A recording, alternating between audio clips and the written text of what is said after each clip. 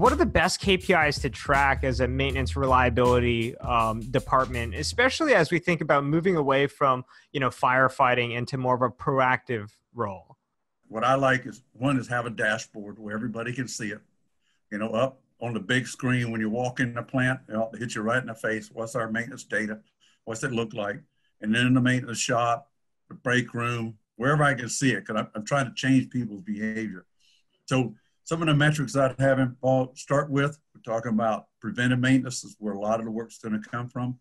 So preventive maintenance, what's our what's my percentage, my PM compliance, but also besides PM compliance, I like PM labor hours versus emergency labor hours. Mm. I like to trend it because it doesn't make sense if we're performing preventive maintenance on equipment that continues to break down. That's called insanity.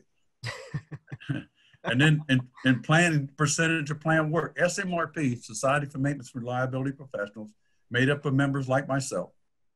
And that's why you see that CMRP at the end of my name.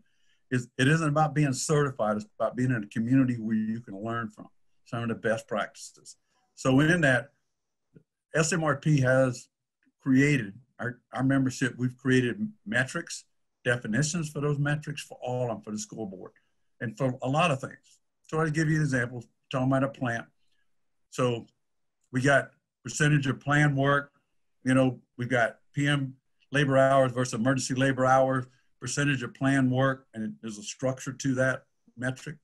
Schedule compliance, I like it by day, by hour.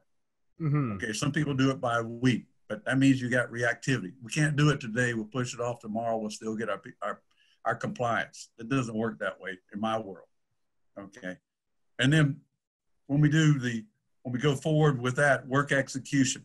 So when we execute the work, do we have rework from that? Rework's a metric that says we perform maintenance on it, but we had to go back to it within a certain amount of time and had a problem with it again. And it's probably one or two things. It's either the same problem we didn't solve, or we were trying to solve the wrong problem. And then get down to it, I want to know you know, my work orders, what percentage of my work orders are closed out with all the codes identified? Because that once those codes go into CMMS, you can't change it. I mean, you can go and manipulate it, you think, but you can't. It's it's in there. It's solid.